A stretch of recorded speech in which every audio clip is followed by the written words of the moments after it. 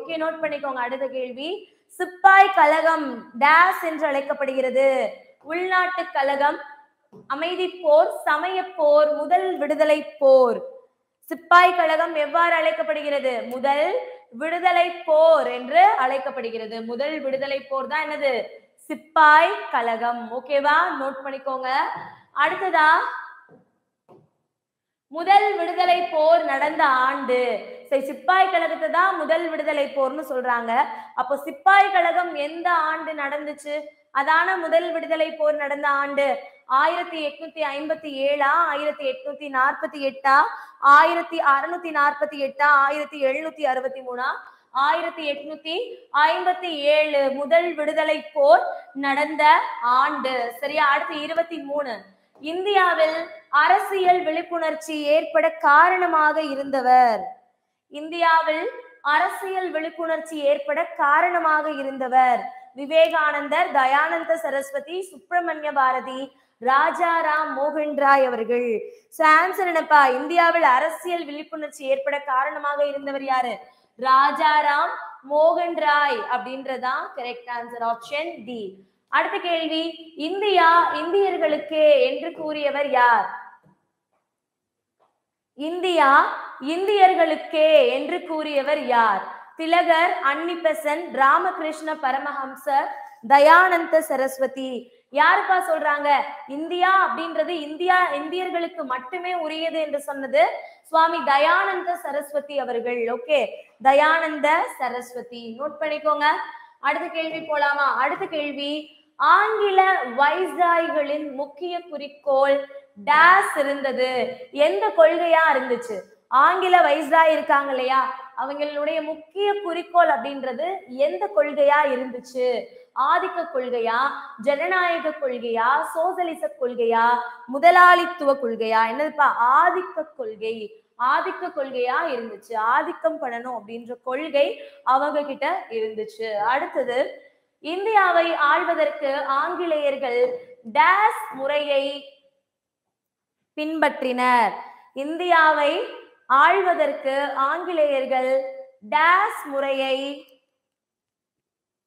பின்பற்றினர். எந்த முறையுமா பின்பற்றாங்க? ஐக்கிய சமத்துவ சுதந்திரத பிரித்தாளும் பிரித்தாளும் பிரித்தாளும் முறை என்ன பண்றாங்க? கைப்பற்றுறாங்க. பிரித்தாளும் சூழ்ச்சி. ஓகே? நோட் பண்ணிக்கோங்க. உங்க ஊர்ல மழையா? ஓகேமா super enjoy okay so then அடுத்து பாருங்க. நாட்டின் ஐ ஐக்கியத்திற்கு முக்கிய காரணம் ஆங்கில மொழி புகுத்தப்பட்டமையே என்று கூறியவர்.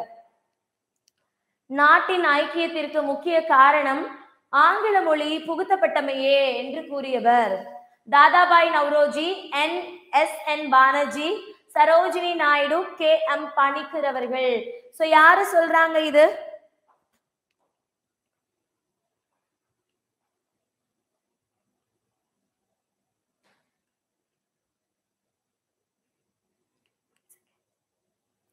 Okay okay answer Dadabhai Naoroji அப்படின்றது சரியான விடை. ஓகே நோட் பண்ணிக்கோங்க. அடுத்த கேள்வி போலாமா? கேசரி என்பது ஒரு கேசரி அப்படின்றது ஒரு புத்தகமா தினசரி இதழா உடன்படிக்கையா கட்டுரையா? நமக்கு தெரிஞ்ச கேசரி சாப்பிடுறது சரியா? ஓகே கேசரி அப்படின்றது என்னது? கேசரி அப்படின்றது ஒரு தினசரி இதழ் தினசரி இதழ் தான் என்னது? கேசரி ஓகே நோட் பண்ணிக்கோங்க.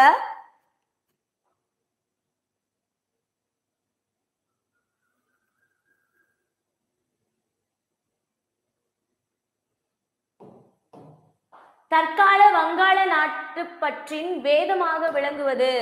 தற்கால வங்காள நாட்டுப்பற்றின் வேதமாக விளங்குவது. வந்தே மாதரம் வேத காலத்திற்கு திரும்பி போ இந்தியா இந்தியர்களுக்கே செய் அல்லது செத்துமடி.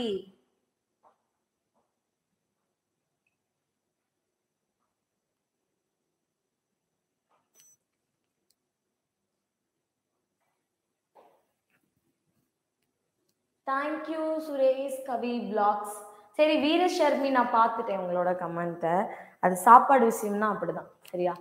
தற்கால வங்காள நாட்டு பற்றி வேதமாக விளங்குவது எதுப்பா?